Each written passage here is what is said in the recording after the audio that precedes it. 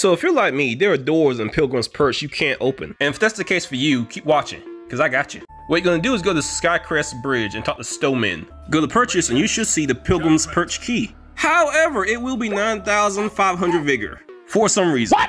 Now I know what you're thinking. Now don't you sell a thing. Instead, go murder some NPCs that probably killed you earlier. Because these NPCs. Except for this one. This one's my favorite. Now once you get the key, feel free to go open these doors, but be careful. There may be some strong enemies behind each one. And they're already striking a pose and ready to kill you. If you like this video, make sure to like and subscribe, and you guys have a great day. Peace!